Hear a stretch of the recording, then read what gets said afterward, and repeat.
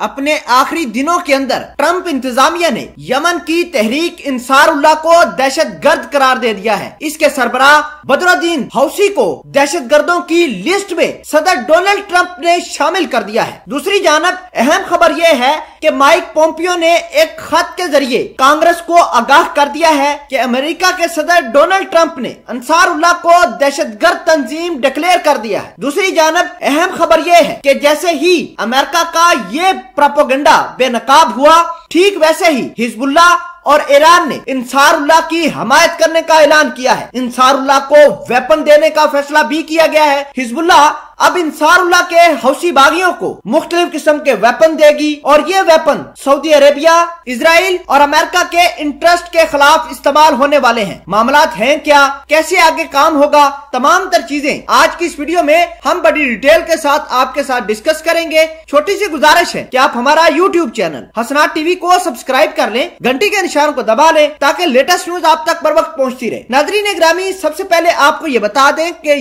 Yemen के हौसी बागी और सऊदी अरेबिया की टसल पाँच से छह साल पुरानी है और इस टसल के दौरान अमेरिका से आए हुए जितने भी वेपन थे सऊदी अरेबिया ने यमन के ऊपर इस्तेमाल किए। फ़िलहाल के लिए और नए डेटा के मुताबिक सऊदी अरेबिया और इसकी इतिहादी फौज ने यमन के तकरीबन सत्रह हज़ार से ज़्यादा लोगों को शहीद किया है। लाखों करोड़ों लोग दरबदर हो गए हैं और अब ये मामला सामने आए हैं कि सऊदी अरेबिया के कहने पर ट्रंप ने जाते जाते इंसारुल्लाह को दहशतगर्द तंजीम डिक्लेयर कर दिया है। अब इंसारुल्लाह के जो बानी है, बदरुद्दीन हौसी, उसको दहशतगर्दियों की लिस्टों के अंदर शामिल कर दिया गया है। अब माइक पोम्पियो ने एक अपनी कांग्रेस को लेटर लिखा है कि सदर डोनाल्ड ट्रंप ने यह फैसला लिया है कि यमन के अंदर जो तहरीक जारी है, उसके बानी बदरुद्दीन और उसके 20 साथियों को दहशत गर्दियों की लिस्टों के अंदर शामिल कर दिया गया है। अहम खबर यह है की जैसे ही ये मामला सामने आए, तभी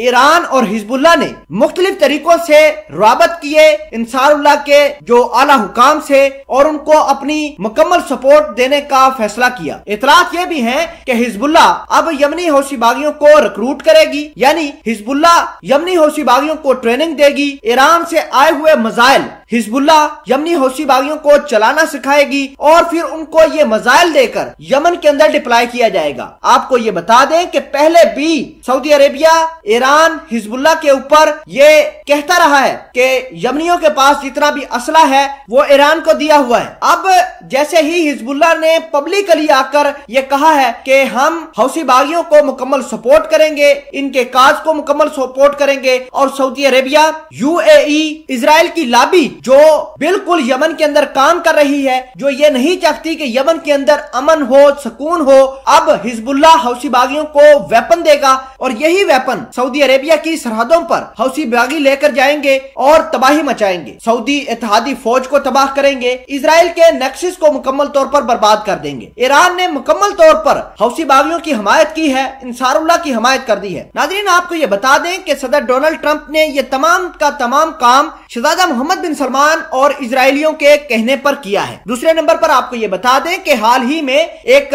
यमन के अंदर सो कॉल्ड गवर्नमेंट बनी है और सऊदी अरेबिया ने ये गवर्नमेंट स्पॉन्सर की है, गवर्नमेंट बनाई है। जैसे ही यमन की जो गवर्नमेंट है सऊदी अरेबिया के अंदर शहजादा मोहम्मद बिन सलमान से मिलकर यमन के एयरपोर्ट पर उतरी, वैसे ही यमनी हौसी बागियों ने एक बहुत बड़ा धमाका किया और धमाका करने के बाद वहाँ पर मुकम्मल तौर पर इलाके को अपने हिरासत में ले लिया, अपना कब्जा कर दिया वहाँ पर। नाजरीन, याद रहे कि इस हमले के अंदर 27 से ज़्यादा लोग जाबाक हुए थे।